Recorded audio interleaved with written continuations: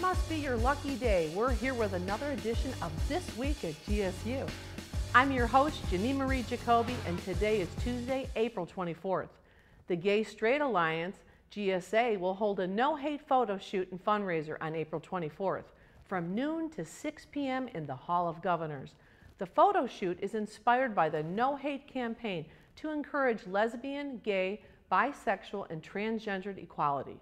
The GSA feels it's important to set a non-discriminatory environment for the students and staff and promote gender and human equality through education.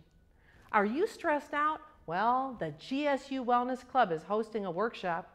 Their goal is to help you manage stress levels as you manage your education. It all goes down today in the Center for Performing Arts lobby. Be there or stay stressed. The GSU Honors Program lecture series concludes this week with Riding the Cultural Revolution, Lessons from Chicago's Southland. Anna Cavarlo will discuss the unexpected observations and benefits found in embracing differences tomorrow from 5 to 7 p.m. in the Hall of Honors. That sounds another dose of This Week at GSU.